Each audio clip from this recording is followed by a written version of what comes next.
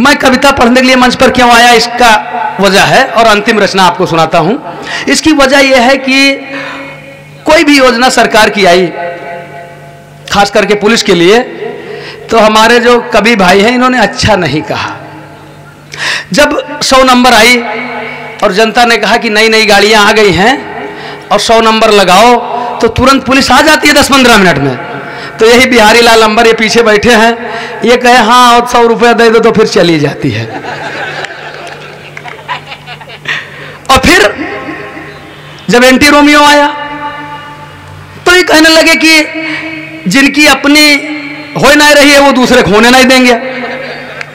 तो ऐसा नहीं है भाई, ये 112 नंबर, जो 100 नंबर है, ये जनता को समस्या से मुक्ति दिलाने के लिए है। जनता परेशान ना हो। एंटी रोमियो है छेड़खानी से मुक्ति दिलाने के लिए आप लोग जानते हो। तो एक पैरोडी रचना आपको सुनाता हूँ।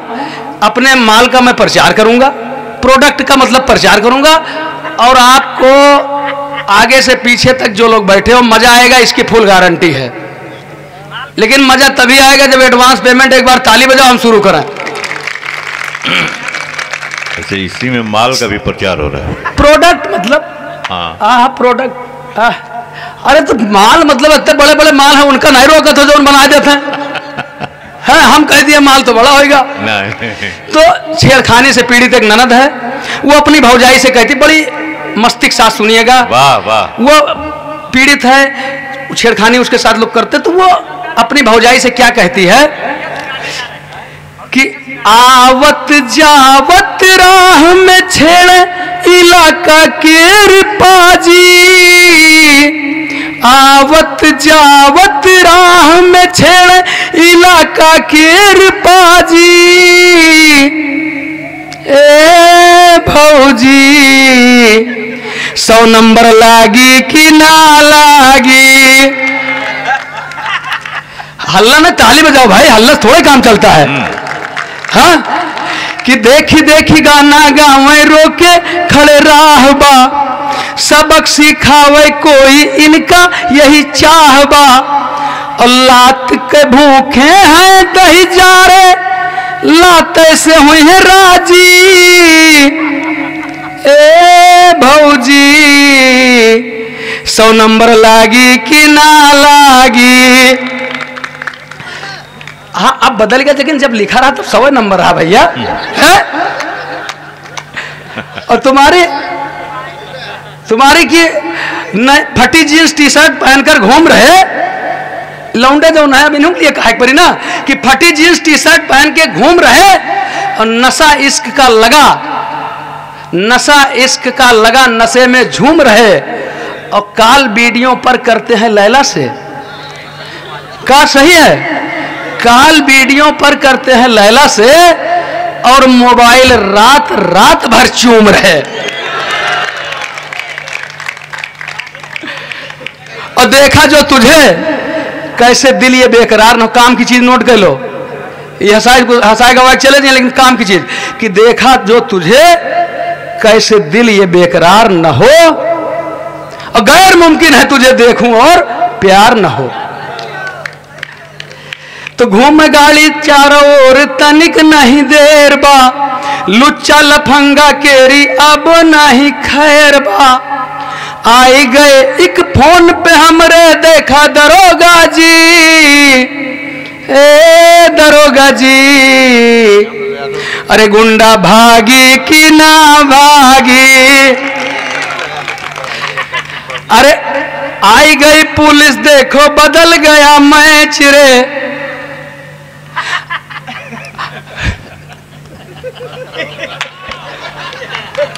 हाँ हाँ पढ़े तो एक बार तालियाँ हो जाए। हाँ। नहीं नहीं बहुत अच्छा पढ़ रहे हैं। हमारे लोकल दरोगा जी भी बैठे हैं साहब हाँ। अच्छा अच्छा अच्छा। चलिए। हाँ। आई गई पुलिस देखो बदल गया मैच रे। भाग नहीं पहले गुंडा हो गई कैच रे। पकड़ के ले जा थाने रपट लिखा दो जी। ए दरोगा जी अरे पट्टा बाजी की ना बाजी तो बहुत कभी के नीचे लगा दीजिए। न तो ये हिंदुआनी है न तो ये हिंदुआनी है न ही ये मुसलमानी है। न तो ये हिंदुआनी है न ही ये मुसलमानी है मगर ईमान सच कहता हूँ मेरा खानदानी है। बराबर है मेरी नज़रों में अशफाक और बिस्मिल हर एक कतरा लहू का मेरे बस हिंदोस्तानी है। वाह वाह। बस जैसे बजाए वैसे बजाए दियो सब संभार देवे परेशान ना हो तो लोग। और हम तो खामोशी के साथ बैठे रहे पता नहीं का का बताएँगे स्त्रीलिंग बताएँगे पता नहीं का का बताएँगे जितना कुछ हमार है सब स्त्रीलिंग बताएँगे सब कुछ स्त्रीलिंग बताएँगे। हम केवल एक चीज़ बतावा चाहते कि हमारे पास एक डंडा है उकर लिंग ही बता दे बस। और दादा बनारस की धरती प्रणाम करे थे। हाँ। प्रणाम करे थे बाबा भोलेनाथ का प्रणाम करे थे आप सबके उपस्थिति का। दादा साण दादा प्रणाम करे थे। और जो भी वरिष्ठ लोग बैठे हैं सबका प्रणाम करे थे। और हम ही कहा जाए थे कि जैसे दादा हमका उठाए नहीं है हम तो खामोश बैठे रहे। हम्म।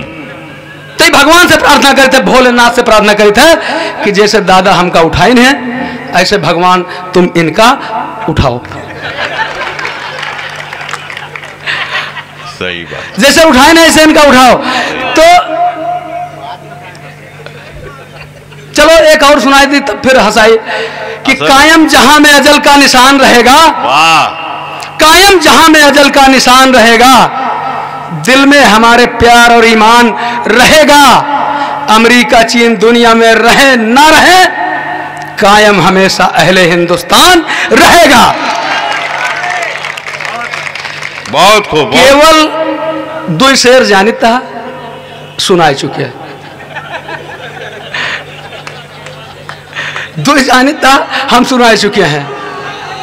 और अच्छा तो लो, ऐसा बताओ ना लड़कन माँ बड़ी घबराहट रहा थे लड़कन में बड़ी घबराहट रहा थे कि कक्षा दस की परीक्षा लेके। कक्षा दस के लड़के लड़के बहुत परेशान रहते हैं। कैसे पास होंगे, कैसे पास होंगे? तो हम लड़कियों से बतावा चाहे थे कक्षा दस की परीक्षा में घबराए जैसा कुछ नहीं है। बहुत आसान परीक्षा है। हम खुद दस बार दिए हैं। बहुत बढ़िया बहुत बढ़िया। तो ऐसे हंसा करिए मज़ा आई बिल्कुल पूरा फुल। फरा फुल फार्म। हाँ हम लोग तो कि दसवीं में दसवीं बार फेल होने पर दसवीं में दसवीं बार फेल होने पर पिताजी ने कहा नालायक तुझे शर्म नहीं आई है? पड़ोस के शर्मा जी की लड़की को देख पूरे शहर में फ़र्स्ट आई है। मैंने कहा बापू तुम्हारी बात मान मान के ही ये सारे खेल हुए हैं। और शर्मा जी की लड़की को हम क्या देखें अरे उसी लड़की देख देख के तो हम दस साल से फेल हुए हैं। सो रहे थे क्लास में टीचर ने जगाया। सो रहे थे क्लास में टीचर ने जगाया। क्यों आते हो स्कूल? उन्होंने पूछा तो मैंने बताया कि आप तो गुरुजी खाली खुरपेज के लिए जाने जाते हैं। और हम तो स्कूल केवल विद्या के लिए आते हैं। टीचर ने कहा, एग्ज़ाम के बाद रिज़ल्ट पे रोते हो। विद्या चाहिए और क्लास में सोते हो। मैंने कहा, गुरुजी, तुम्हारी बुद्धि सठियाई है। और ठीक से देखो, आज विद्या स्कूल नहीं आई है। और अभी शंकर कैमूरी दादा निजामत कर रहे थे तो एकता पर मरने की बात कर रहे थे। हम्म। हम सीधे साधे आदमी हैं हम भी समझे किस एकता पर मरने की बात करते हैं फिर ही बताए कि हम बुज़ुर्ग हो गए हैं। आदरणीय तिवारी दादा सुदामा तिवारी जी गुरु जी ये भी बुज़ुर्ग लेकिन हमारे देश में जो बुज़ुर्ग हैं किसी से कम नहीं है। सवाल। तो अपने बुज़ुर्गों के लिए जमा दिल बुज़ुर्गों के लिए कहना चाहता हूँ कि दबे वो पाँव चलते हैं मगर आहट नहीं जाती। हम्म। दबे वो पाँव चलते हैं मगर आहट नहीं जाती।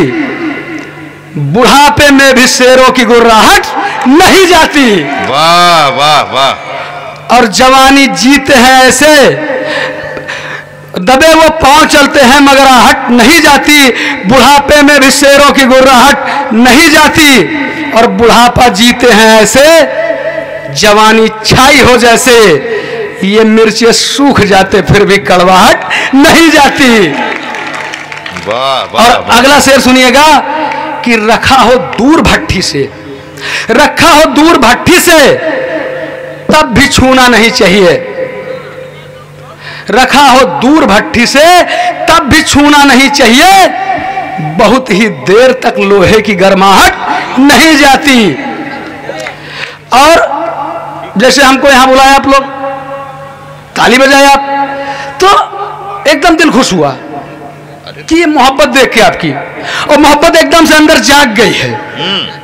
अब दिल में भावना उत्पन्न हुई है कि भावना ये उत्पन्न हुई है कि जैसे आज आपके बीच में यहाँ मैं आया हुआ हूँ ईश्वर अल्लाह आपके लिए भी ऐसा दिन लाए कि आप हमारी थाने में कोतवाली में हवालात में आए।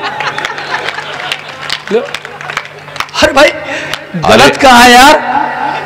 तुम्हारे यहाँ मैं आया। तो मेरे यहाँ तुम मैं कुछ गलत कह कहा यार? है? अरे इसी फिर? ऐसा है कि इसी डर से तो लोग ताली बजा रहे हैं कि न जाना पड़े। और फिर? जैसे आप यहाँ बजाते हो भगवान वो दिन आवे कि हम भी बजाओ अच्छा। भगवान वो दिन लावे, कि हम भी बजावे। तो मैंने कहा, बहुत जो है, अफवाह है कि पुलिस इंट्रोगेशन करती, का करती है। कोई कहता है, ये मारती, वो मारती, ऐसा नहीं है। हर बार मारपीट ही कारण नहीं होता है। एक इंट्रोगेशन की कहानी आप लोगों को सुनाता हूँ। दादा, पीछे आवाज़ जा रही है आप लोगों का? हाँ तो ताली बजाओ, कोई तमाशा देखा है का है? कि पकड़ा गया बदमाश बहुत ही सातिर अपराधी था, जेल तोड़ने, हत्या करने, डाके मारने का आदि था। यूँ तो कर चुके थे तमाम पुलिस वाले उससे अपनी भाषा में पूछताछ। मगर उगलवा नहीं पाए थे उससे ना कुछ आम, ना कुछ खास। चल चुके थे उस अपराधी पर लाठी डंडे, पट्टे, जूते, लात। छुप छुप तमाशा देख रही थी क्या क्या हवालात। फिर एक दरोगा जी बोले, ये ऐसे नहीं बताएगा। फिर एक दरोगा जी बोले, ये ऐसे नहीं बताएगा, इसको करंट लगाओ। तो एक अधिकारी बोले, नहीं नहीं करंट वरंट रहने दो, ऐसा करो, धर्मराज को बुलाओ। धर्मराज, हमारा नाम है, आप लोग जान ही रहे हैं। इसके बाद उस बदमाश से पूछताछ का जिम्मा मेरे सर पर आया। मैंने दो कप चाय, एक अपने लिए, एक उस बदमाश के लिए मंगाया। मैंने कहा, घबराओ मत। घबराओ मत, मैं मारपीट नहीं करता, सिर्फ़ हंसता और मुस्कुराता हूँ। तुम चाय पियो। मैं तुम्हें अपनी एक कविता सुनाता हूँ। फिर मैंने उसको सुनाई अपनी एक गज़ल। कुछ रुबाई। सुनते सुनते उस बेचारे की आँखें भर आई। थी ठंडक, था जनवरी का महीना। एक घंटे में हो गया पसीना पसीना। और हाथ जोड़कर मुझसे बोला, कि गुरुजी, आपके सामने मेरा तजुर्बा बहुत ही कच्चा है। और आपकी कविता सुनूं? अरे, उससे तो उधर लात जूता खा लू, वही अच्छा है। मैं कड़क कर बोला, मैं कड़क कर बोला कि अगर तू नहीं बताएगा तो तुझे और कविता सुनाऊँगा। वो हाथ जोड़कर बोला माई बाप मेरे भी बाल बच्चे हैं मैं सब कुछ बताऊँगा। बता दिया उसने फिर मुझे सब कुछ बात बात में मारपीट नहीं करता हूँ। मैं सिर्फ़ कविता सुनाता हूँ हवालात में। आगे की बात फिर कभी बताऊँगा। और तालियाँ बजाइए ना ऐसे सारी रात कविता सुनाऊँगा। अरे रामलीला सुना रामलीला भी हो जाए। गजब हो गया पिछली रात में एक कैदी मर गया थाने की हवालात में। अच्छा। गजब हो गया पिछली रात में एक कैदी मर गया थाने की हवालात में। मुसीबत भारी क्या क्या बताएँ? जाँच करने कप्तान साहब थाने पर आए। उन्होंने पूछा क्या इसे किसी ने पीटा था या करंट लगाया था? सिपाहियों ने कहा नहीं साहब न तो किसी ने पीटा था न करंट ही लगाया था। मगर इसे कोतवाल साहब ने सारी रात अपनी कविता सुनाया था। हमारी हमारी ड्यूटी में कोई नहीं लोप है। मर गया कैदी ये इनकी कविता का प्रकोप है। कप्तान साहब ने कहा, तुम्हें फांसी का दंड मिलेगा। बहुत सुनाते हो कविता, सबका मज़ा एक साथ मिलेगा। मैंने कहा, हुजूर, मैंने कहा, हुजूर, मैं मरने के पहले अपने अंतिम इच्छा वाले अधिकार को भुनाना चाहता हूँ। मैं अपने अंतिम इच्छा वाले अधिकार को भुनाना चाहता हूँ। और मेरे हुजूर बुरा न माने तो आज रात यही कविता मैं आपको सुनाना चाहता हूँ। मेरी बातें सुनकर वो बोले कि मुझे तेरी बातों में एक नया जोश नज़र आता है, और कविता विता रहने दे पगले है, तू तो मुझे निर्दोष नज़र आता है। चलिए, एक जैसे रामलीला आप लोग कराते हैं सब सम्मेलन आप लोग कराते हैं तो ऐसा नहीं है कि ये आप ही लोग कराते हैं। थाने में हम लोग भी कब सम्मेलन कराते हैं। तो जो कब सम्मेलन कराया हमने, उसमें क्या हुआ, फिर रामलीला कराया, उसमें क्या हुआ, मैं बताता हूँ आपको। एक्चुअल में पिछले दशहरा टाइम में लोगों ने, जनता ने डिमांड कर दी कि मतलब थाने में रामलीला होनी चाहिए कब सम्मेलन होना चाहिए। हमने जिससे जिससे बात किया, कोई कभी यहाँ त्याग तपस्या बात करते हैं, लेकिन ये पेमेंट में कोई रियायत नहीं करते। हैं आप लोग जानते हो, करते हैं, नहीं करते हैं? नहीं करते हैं। तो किसी ने दस हज़ार, किसी ने पंद्रह हज़ार, जिसने जो मांगा, दिया गया, तय किया गया कि आ जाओ, दिया जाएगा। दस बारह कभी आ गए जो है, शायर आ गए। रात भर धुआंधार कब सम्मेलन थाने में होता रहा। सवेरा हुआ। जब ये लोग चलने लगे तो इनका जो भी पेमेंट होता था, दस हज़ार, पंद्रह हज़ार, सबका दे दिया गया। बहुत खुश हुए, जय जयकार करते हुए चलने लगे। वाह भाई कोतवाल साहब, वाह भाई कोतवाल साहब, बहुत अच्छा रहा। चलने लगे। कहें बहुत अच्छा जो पुलिस बदनाम है कि मतलब पैसा वैसा नहीं देती है, ऐसा कुछ भी नहीं है। आप बड़े अच्छे हमने कहा, नहीं नहीं, कोई बात नहीं भैया, पैसा क्यों नहीं देंगे हम? ये चलने लगे, जब ये निकल लिए थोड़ा सा तो आगे चौराहे पर भी हमने चेकिंग लगवा दिया। हमने चेकिंग लगवा दिया। जिसके पास जो कागज़ नहीं था, उस कागज़ में फंसने लगे, चालान चालान में फंसने लगे। महँगे महँगे चालान होने लगे। तो फिर इन्होंने जो हमसे लिया था दस हज़ार, पंद्रह हज़ार, पाँच हज़ार, इन्होंने धीरे धीरे करके हमको अरे समझो तो पीछे भी ताली मारो भाई, है? धीरे धीरे वापस कर दिया। ये दमदार बनारसी बहुत होशियार हैं। इन्होंने कहा हमसे कि भैया बाकी तो सब ठीक है, छोटे भाई हैं हमारे ये, कहा बाकी तो ठीक है। जब लेकिन पैसवा वापस ही लेना था तो मालिक आप दिए का है? हम कहें कवि जी बात सुनो हमारी, जो हम दिए थे ना, वो हमारा फ़र्ज़ था। वो हमारा फ़र्ज़ था। और जो हम लिए हैं ना, ये हमारा धंधा है। चलिए, कि मैंने अपना पैर खुद कुल्हाड़ी पर चलाया था, मैंने अपना पैर खुद कुल्हाड़ी पर चलाया था, इस बार थाने पर मैंने रामलीला कराया था। कलाकारों के लिए मैंने भानुमति का कुंबा जोड़ा था, कहीं का ईट, कहीं का रोड़ा था। हम मेरी धर्म पत्नी जी कैकेयी और मैं राजा दशरथ बना था। एक तो राजा और दूसरे कोतवाल, इसलिए बेवजह अकड़ा और तना था। रामलीला शुरू हो, उससे पहले मेरी धर्म पत्नी जी अपना नाटक मचाने लगी। और मेरी दो और पत्नी बनने आई, महिला कलाकारों को बेलन मार मार के भगाने लगी। बोली कि ऐसे सपने तुम्हें संजोने नहीं दूँगी। भले ही नाटक है, मगर जीते जी किसी और की होने नहीं दूँगी। उन बेचारियों को बचाने को हम भी अड़ गए। दस बीस बेलन तो हमको बेवजह पड़ गए। थाने की महिला कांस्टेबल जो बनी थी सीता, उन्होंने राम बने सिपाही का दिल कुछ इस तरह से जीता कि तुम मुझे सोने के हिरन उरन में मत उलझाओ। तुम मुझे सोने के हिरन उरन में मत उलझाओ। और दिलवा सकते हो तो इस दशरथ बने कोतवाल से मुझे सात दिन की छुट्टी दिलवाओ। इस बार की रामलीला में मेरा सब कुछ बंटाधार हो गया, क्योंकि संजीवनी बूटी लेने गया, हनुमान बना कैदी, बीच रास्ते से ही फरार हो गया। अच्छा पहुँच गया, पीछे भी पहुँचा? एक बार इनके लिए भाई ताली बजा दो, पीछे बता रहे पहुँच गया है।